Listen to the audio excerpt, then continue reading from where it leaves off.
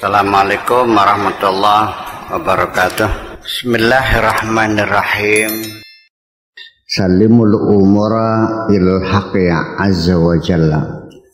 Serahkan segala persoalanmu kepada Allah Subhanahu wa taala. Serahkan segala urusanmu kepada Allah Subhanahu wa taala. Fahuwa a'lamu bikum minkum karena dia lebih tahu tentang dirimu daripada kamu sendiri. Sekali lagi serahkan segala urusanmu kepada Allah Subhanahu wa taala karena dia lebih tahu tentang dirimu daripada kamu sendiri. Intadziru furjahu tunggu saja Allah akan memberikan kemudahan kepada kamu.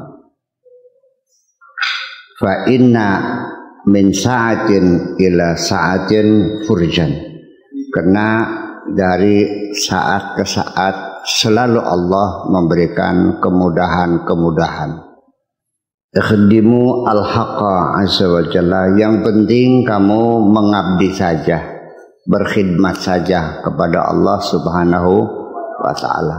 Laksanakan segala perintahnya.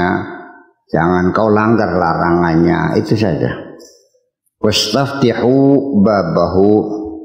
Dan cobalah selalu berusaha membuka pintunya Allah. Ketuk terus sampai dibukanya pintu itu. Ya. Wa aghliqu abwabal khalqi. Adapun pintu-pintu yang lain pintunya manusia, pintunya makhluk, ya tutup saja. Fa innahu yurikum ajaiba ma laysa fi hisabikum. Nanti Allah akan memperlihatkan kepada kamu berbagai macam keajaiban-keajaiban yang tidak pernah kamu perhitungkan. Yang penting bagaimana caranya membuka pintu rahmatnya Allah nggak usah buka pintu rumah orang nggak usah ya tutup aja artinya jangan berharap mendapatkan bantuan kepada siapa pun dan jangan pernah meminta tolong kepada siapa pun kecuali hanya kepada Allah Subhanahu wa taala. Artinya bahwa pertama yang bikin kamu adalah Allah. Yang merancang kamu Allah. Yang memprogram kamu dari mulai nafasmu, paru-parumu, jantungmu, urat nadimu, semuanya dikendalikan oleh Allah. Allah lebih tahu daripada diri kamu. Sudah serahkan saja kepada yang lebih tahu. Allah lebih tahu tentang kamu, tentang dirimu sendiri. Allah lebih mengerti, lebih tahu tentang dirimu daripada kamu sendiri. Yang jadi masalah ketika kamu merasa keberatan untuk menyerahkan dirimu kepada Allah, ada apa sebetulnya?